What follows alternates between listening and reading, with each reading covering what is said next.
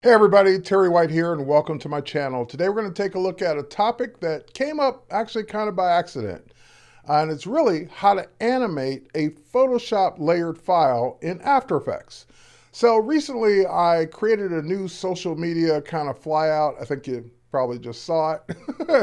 uh, and, and I just basically put together the Photoshop file, uh, made all my separate layers and layer groups, made all my social media, even went and found the right colors for Facebook and and Twitter and so forth and so on.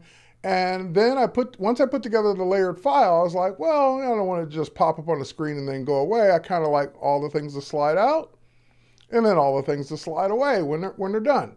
So I decided to um, animate it in After Effects. And of course, once I did that, people started asking, how did you create your new social media profile animation.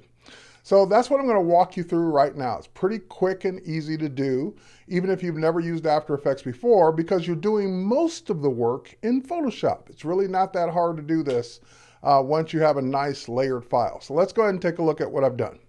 So uh, I'm to pop over to Photoshop. And this is all it is. So all I did to get started with this, just for people that are saying, hey, you know, I don't, you know, I don't even know how to get started in Photoshop. Let's do a new document. And uh, I used the um, print and or film and video template. I did the 1080p HD TV. If you need one that's 4K or whatever, you can make that one. But I did that one. And the only difference is instead of using the template, which defaults to a white background, I changed it to be transparent so I wouldn't have a background at all. So that gave me the right document size. And then I just built all my layers. So I, um, I create, uh, used that first layer and I said, okay, let's make a rectangle marquee selection. And again, I, you know, I'm not making these exact size, but I got that one the right size. Then I said, okay, I need to fill it in with a nice color. I went and found the exact blue that I needed, but let's just fake it for now. And then once I did that, I hit Option on the Mac, Delete, or PC, Alt Delete or Alt Backspace to fill it in. Then I deselected it.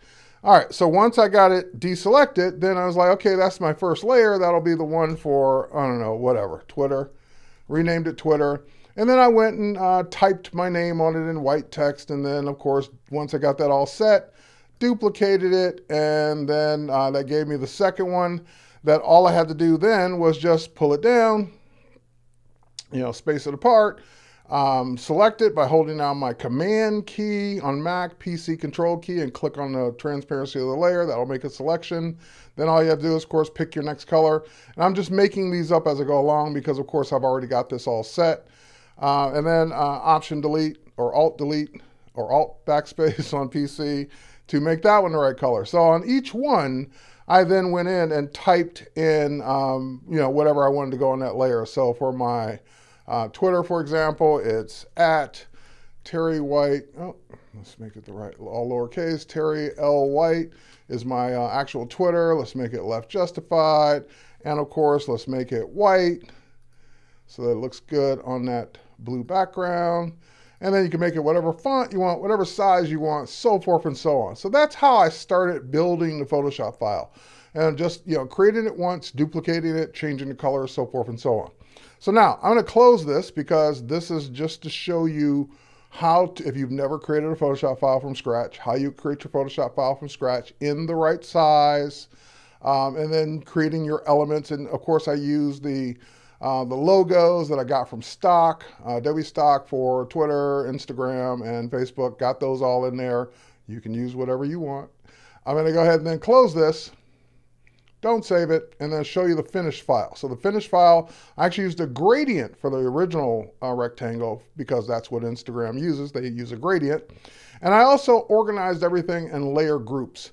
So instead of having a group for the color or a item for the color, uh, a separate item for the text and a separate item for the logo, all separate in the layers panel. Once I put those three things in there, then I group them together in a layer group, which you can create that just by clicking the layer group icon in the bottom right. And of course, then that turn allows you to turn on, turn off, and move the entire group. So that way, um, it just keeps it nice and tidy, nice and neat. Um, and then you have your ability to go ahead and export the or save out the entire file. So once I'm done or once you're done building all your layers and all your layer groups, and I highly recommend um, you, you for After Effects, you make layer groups for the each individual item so that it's easier to animate the whole item as opposed to the individual. I have to move the logo, I have to move the text, I have to move the blue background. That way you get to animate the whole thing as one. So that's another reason why you want to, whenever possible, work with layer groups in Photoshop just to make your life easier so that when you head over to After Effects, all this separate stuff is treated as one, even though you can still edit it as separate items. Okay, once I did that, um, of course, to keep all the layers, you, you want to save it out and save it to your computer, and you want to save it as a Photoshop file. That way you'll get to keep all the layers. So you're going to save it as a PSD. Um, I'll save this one out. I think I saved, I'll save this one out to the desktop. But you're going to um, save it out wherever you want, and let's make a new folder for it so we'll know where it is. Um, PSD to AE. So Photoshop to After Effects, that's where we're going to put it. You put it wherever you need it. Wherever you're going to know where it is, I should say. And then uh, that will keep all the layers, that'll keep everything maintained, and that way you can uh, come back and make changes if you want to, so forth and so on. So that's the Photoshop work. Once you get the Photoshop file looking the way you want, then it's time to head over to After Effects so that you can animate it. So I'm going to pop over to After Effects, which I already have running. And in After Effects, I'm going to create a new project. Now, once I have this new project, I'm, I want to create a new composition from the footage. So After Effects works with compositions. Those are like the timelines and, or sequences in Premiere. So I'm going to go ahead and create a new composition. Now, new composition normally would just be blank, and then you bring items in and animate them. But we already have everything all ready to go from Photoshop. So we're just going to say new composition from footage. Click it. It's going to then bring up a window asking me where is the footage you want to bring in. I'm to go to the desktop. Oh, yep. And there's my folder I created, PSD to AE. And don't just double click and open real quick because there's some choices you need to make. So we're going to select the file. We're not going to be in a hurry. And then instead of importing it as footage, this is one of the first things we need to change. We want to import it as a composition and more importantly, retain the layer sizes. So let me explain the difference between footage, composition, retain the layer sizes, and composition. You bring it in as footage, you're just going to bring it in as one thing. So all three bars come in as one thing, and you won't be able to animate them separately. That's obviously not what we want. We don't want footage. So then what's the difference between bringing it in as a composition, retaining the layer sizes, or just a composition? We bring it in retaining the layer sizes. Well, remember, we made that big 1920 by 1080 window with all that empty space, and then the bars are over on the right-hand side. Well, if you bring it in as just a composition, then it will shrink it down to only the space, only the stuff that's on the layers themselves. So we obviously want the full size of our composition and retaining the layer sizes so that we get all that empty space too. So I'm just gonna go ahead and hit open. And you're going to say, well, once it opens, oh, wait, hang on, there's one more window. Let me bring that window over. So it's saying you have a choice because if you use layer styles, you can make those layer styles editable. So like if you use a drop shadow or anything like that, you would be able to edit those layer styles or you can just merge them in. I didn't use any layer styles, nothing that I need to animate separately, so I'm just going to go ahead and merge them. Now, nothing happened in the window, but it did actually bring in the composition over here in the project window. So if I look in the project window, there it is, my new composition, TW social media flyouts. That's the PSD that we saved. Now, double click on it. When we double click on the icon, it all starts to come re become real. We can actually see what we're doing. We can actually see um, we can actually see the individual layers, which you can click on, and these are the layer groups. This is why I meant put them in a layer group because then they're that much easier to animate. And then there's one thing I want to do while we're here. Because I'm going to be dragging these things separately, I kind of don't want to mess up the alignment. Like I want to keep them aligned exactly where they are. So I'm going to uh, hit Command R to bring up my ruler. And then I'm going to pull out a ruler guide while we've got them exactly in place where we need them to be and put that ruler guide right there. so that when I animate them out, I know to stop at that ruler guide. So that's just a quick thing for me to do. All right, so now that we got our three layers, there's one for Instagram, one for Twitter, and one for Facebook, we need to tell all three layers that there's one property we want to animate, and that's the position. You can animate the position, you can animate the rotation, you can animate the opacity, you can animate all kinds of attributes, but in this case, and let me show you what I mean by that. If I wanted to get to all the properties for Instagram, for example, that I can animate, I could twirl this down, and twirl down transform, and there they all are. I can animate the anchor point, the position, the scale, the rotation, and the opacity. We only want position. That's the only one we, because we're just gonna have them slide out, slide back in. So we don't, we don't need them, we don't need to animate the opacity or anything else. So a quick way around that so that you don't have to twirl each one down and go to them individually. So we're gonna go ahead and select all three layers. This is just a shortcut and you're going to hit the letter P for position. So once I hit the letter P, notice it, it exposes position for each one. That way I don't have to think about, um, I have to think about twirling them down and finding position for each one. So it's just a shortcut. You can twirl them down and do them manually. But if you, if you're like, let's say you had 50 layers, you don't want to have to twirl down 50 layers and find position each for each one when you can just do it all as one. Okay, so now the next thing is to tell uh, After Effects we want to do this over time. There's uh, two things we want to happen. Number one, I just realized that uh, your composition may not be the right length, meaning that After Effects defaults to 30 seconds for a new composition if you don't do anything. That's not what I want. So I want to make sure that I go into my composition settings before we go any further. Composition settings up here under composition and I'm going to bring that window over. And I just want to make sure that your composition duration is, and I mine is remembered from last time, 14 seconds, 29 or 29 frames. So basically 15 seconds. Yours probably says, if you have never changed this, 29, 29. So you want to change that 29 to 14 just so your composition, eh, or 10, or whatever you want it to be. Like I picked 15 seconds Yours can be as long, you can be 30 seconds, it can be 40 seconds, as long as you want this animation to take. So I figured I wouldn't annoy people with my social media more than 15 seconds. All right, so 15 seconds, mine's already set. I'm gonna hit cancel. You would click OK after you make a change. Now that we know the composition from zero to 15 seconds is right, we know that we got our three layers and we expose position for each one, great. Now we're gonna go ahead and click the stopwatch which is the little icon next to position, and we're gonna, that sets a keyframe, these little blue triangles. It set that little blue triangle for each layer at zero seconds. So at zero seconds, we're now gonna tell it what to do. Well, at zero seconds, it shouldn't be visible at all. You should not see anything. So I'm gonna take all three layers that are selected and simply drag them off. Now, if you're dragging them and it's not, you know, like you're, you're worried you're gonna drag them up or down, then hold down the shift key so that you can drag them in a straight line across. So now at zero seconds, meaning the animation first comes up, you don't see anything. And that's where that first keyframe is gonna be set.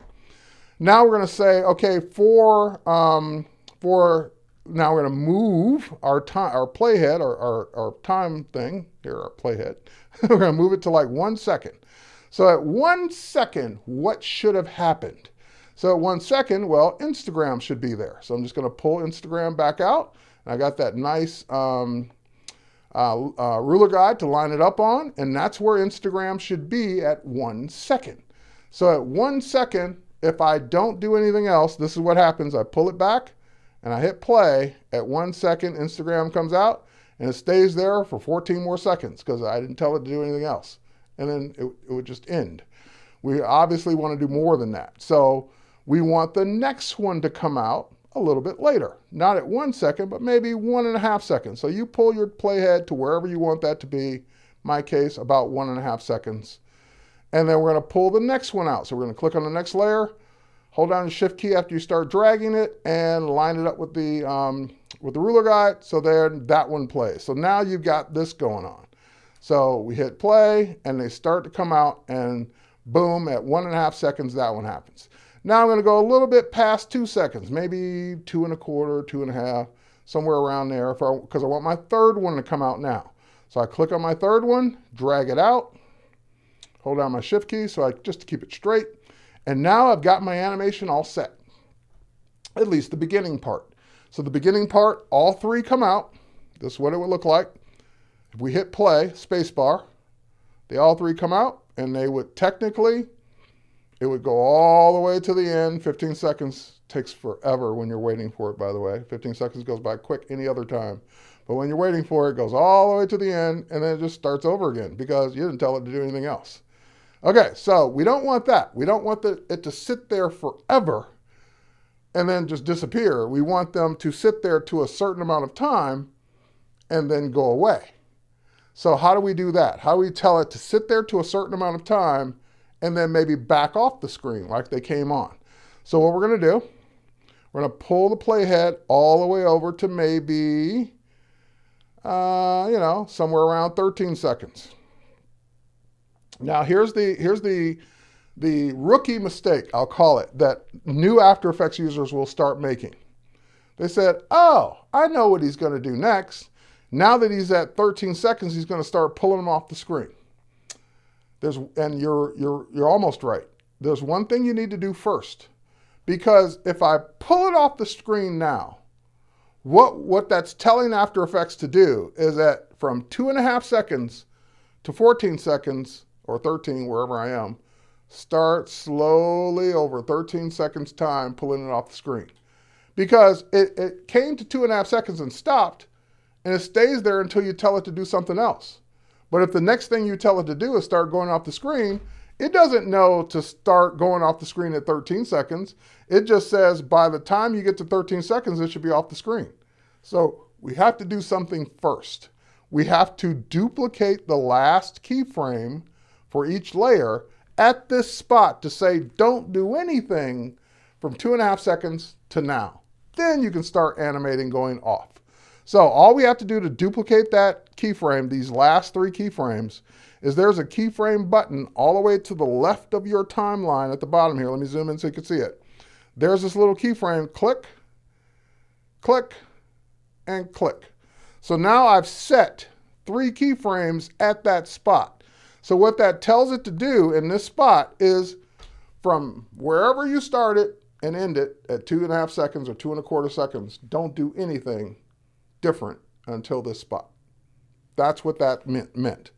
So now we can start animating off the screen. So we can start saying from here, I can say by the time it gets to maybe um, here, the first one will start to go off. And keep in mind, um, it's, it's really the amount of time it's going to take for two seconds for these to go off. So that seems like a long time. So maybe you want to set those three keyframes at 14 seconds and animate them off quick. And by the way, you can pick up keyframes. So if I said, no, I, I changed my mind, I want to pick them up, move them over, then you pick them up and move them over. You can move them over or delete them or undo them and reset them any way you want to get them over to this spot in time. So I'm just going to pick them up, move them, and say, yeah, no, two seconds to animate off is too long. I, uh, I want them to animate off within a second. All right, so now that I got them in place, in other words, go here and stop. I just want to make sure I got them all lined up. I think I do. All right, so now we're going to start animating them off. We're going to start saying, okay, a little bit past 14 seconds. Uh, since Facebook was the last one to come on, let's let make it the first one to go off. So now it's off. And then we're going to say a few, uh, you know, less than a second over. We're going to have Twitter go off. All right. And then last but not least, near the end or right at the end, we're going to have Instagram go off. Just hold down shift key to move it over. As long as it's off screen, it doesn't matter how far. But if you move it way off screen, then you're telling that's how much time it's got to take to move that far. So it might move quicker or slower than you want. Okay, so here's the whole animation playing from the beginning. I go all the way, pull the time head all the way back to the beginning, hit the space bar, all three come on, and all three just sit there for 13 or 14 seconds or so. And then once we get to that first keyframe where they're locked in place, then they start animating off quickly because we told it to animate off in a second. And then it starts playing the animation over again. So that's it. That's our animation. Now, of course, you can still move them. You can move these keyframes. You can say, well, that, that they went off so quickly. Maybe I don't want them to go off that far, that fast. So I can select all three keyframes, move them over, and then spread this time out. Maybe I say, you know, that let's give it a little bit more time in between them before they go off. So now going, going off the screen would look like this. Yeah, they don't go off as fast. So the keyframes represent a position in time, literally in this case, a position in time. How, how close they are together is how fast they move. How far apart they are is how slow they move. And you can dictate that even after the fact, like I just did, by moving the keyframes on the timeline where you want them to be. So just like we started with three keyframes, locking the position off screen, then we move them on screen, then we lock the position on screen, then we move them off screen. So that's our full animation. Now the question is, now we got our slick animation ready to go, how do we get this out of After Effects so that we can use it in other programs? Maybe you want to use it in Premiere Pro. Maybe you want to use it on your uh, live streaming platform, uh, OBS or, or Wirecast. Maybe you want to use it on your meeting platform. However you want to use this video, there's one caveat. You want this video to be transparent so that when you put it on top of other video, we don't see a black background. We don't see any background at all, just like we started with a transparent layer in Photoshop. That's why we did transparent instead of white. So what we're going to do is we're going to do one thing. We're going to go to Composition, and we're going to go to, um, we're going to go to Add to Adobe Media Encoder Queue. So Adobe Media Encoder is a separate application that comes with Premiere and After Effects, so you already have it. And what that does is it takes the animation we just did and gives it to us in um, the media encoder so that we can, uh, and it just popped up, here's a media encoder, so that we can dictate what format, what, how many formats we want. You can duplicate it in here. You can export it as many different ways, as many different sizes as you need. So if I had a 4K one, but I needed one for 1080p, I can make scale it down. One for 720p, I can scale it down. So I can start with the biggest one and just keep animating or scaling, exporting it out in different sizes, I should say. Now, what format should you use? Mine's already set. You might be tempted to say, well, I know H.264 is one that I've heard of, and, and, and, it, and it could be the one that you would use for any other kind of animation. But in this case, we're going to use QuickTime. Now, if you were, the reason we're going to use QuickTime is because just like JPEG doesn't support transparency, but PNG does when you export out Photoshop documents, same thing with video. There, not every format supports transparency. So we need, a, we need a format that would support transparency. So we could use, um, we could certainly use um, uh, QuickTime because it does support transparency. If you're on a Windows platform, I would probably start looking at, let me see if I see it here. Uh, Targa supports transparency on the Windows platform. So if you're on Windows, look into Targa. I'm, you know, I haven't looked in Targa in a long time, but look, look into Targa. I know it supports transparency. And if you're on Mac, uh, let's use QuickTime. We're going to use this preset, which is Apple ProRes 444 with alpha. And the with alpha is the important part. That's That means transparency. So whenever you see the alpha term in one of your export presets, presets, that means use transparency. If you don't see alpha, then it may not be using transparency and you end up with a black background even though um, there was no background to begin with. All right, so just like you end up with a white background when you try and save out a JPEG in Photoshop with uh, transparency. It just makes the background white no matter what. All right, then we can tell it where to put it. So I'm just going to go ahead and just click on the name. This is dictating where it will be saved. So I'm going to save it to that same folder. It will automatically save it out as a movie or .mov file. We're going to go ahead and save that. And then we just hit the play button up here in the upper right-hand corner uh, to actually start the export. So when we hit play, this is a pretty relatively quick animation, so it shouldn't take that long to export or render this out. But it's um, connected to the project because keep in mind this is a separate application.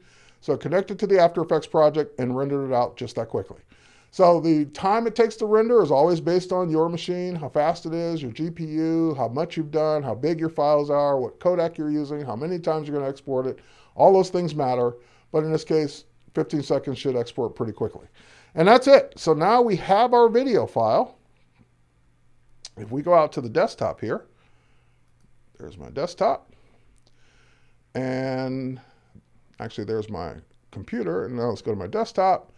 And if we go to that PSD to, um, to AE folder, there's the .mov file. If I hit spacebar to play it, there it is playing it and I see my playhead going across, and it's gonna. There's no audio because we didn't put any audio in, so it's gonna be a silent movie.